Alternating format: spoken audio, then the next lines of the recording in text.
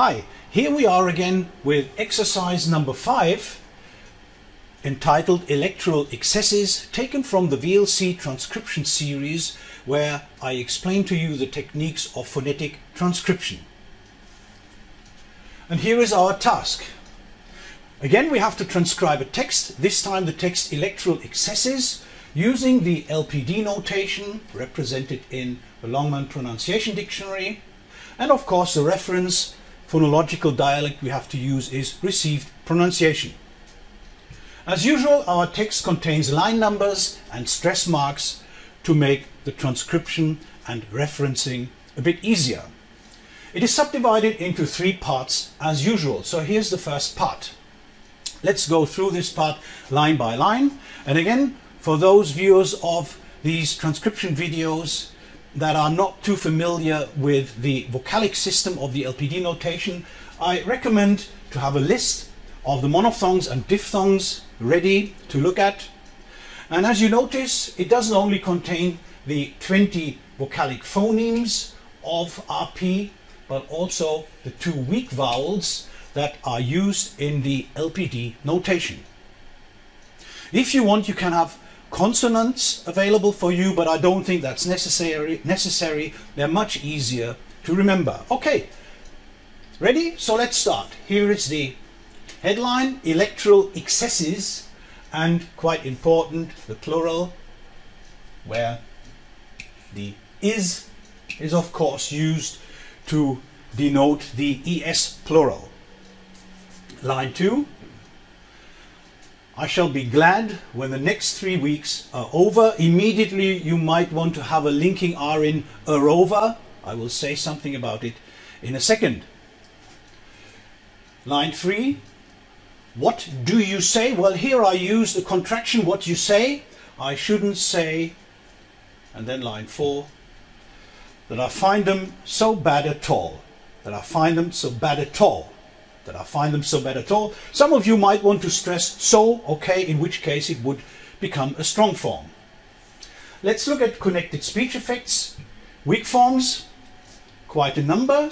I already mentioned the weak form do you, where in as an alternative you could have used, let me write it down like here, where you could have written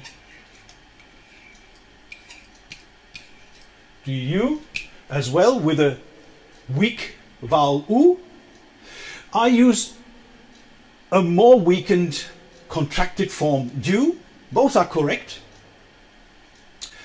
Well, and then here we have so as an occasional weak form down here. So, and as I said, this is occasionally weakened. If you have a stress mark here, it would be easier that I find them so bad at all, so you can stress this line, and then you would have to use the strong form. We don't have any strong forms apart from that option, but we have liaison in a linking R. As I already said, we could insert the optional linking R in weeks or over. Linking R, not an intrusive R, linking R, so a liaison effect. And we have some elision possibilities here. Again, they're optional. Next three shouldn't say and find them. So next three shouldn't say find them. In all three cases, we have the three consonant rule where the internal consonant can be elided as an option. Let's look at part two. Here we have another weak vowel in certainly,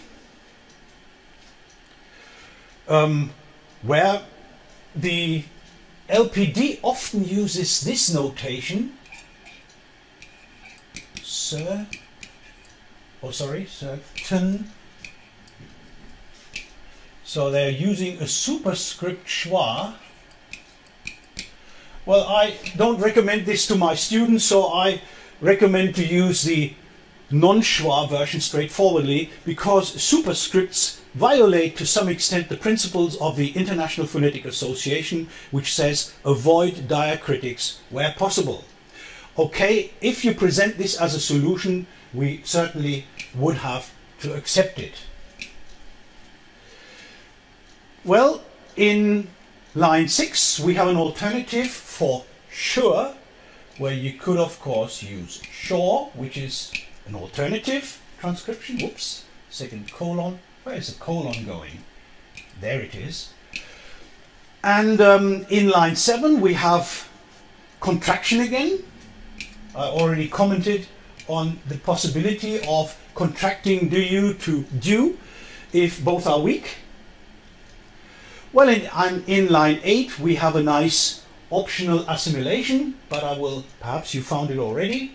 Well, let's look at it in a second. Here are the weak forms. Quite a number. We have one strong form. Does an election go on there? Well, it is not stressed, but it occurs at the end of a sentence. And we have liaison in, but we're certainly better off than they are in there in the States. Both are optional. We could easily say certainly better off than they are in the States. As I said, liaison is always optional, and so is the linking R in this context. Well, and we have, as I said, assimilation here in this last line. It can be, well, in both cases we have regressive assimilation, where in the first case the velar plosive influences the alveolar plosive regressively, and in the second case the bilabial plosive influences the alveolar nasal regressively so that the optional result could be, it can be, it can be for months and months. Let's continue with part three. Well, really? Then we can congratulate ourselves. Well, in fact, as you may have already assumed, there is an alternative representation in the LPD for congratulate. Um, you could, for example, write it or transcribe it like this. Congratulate.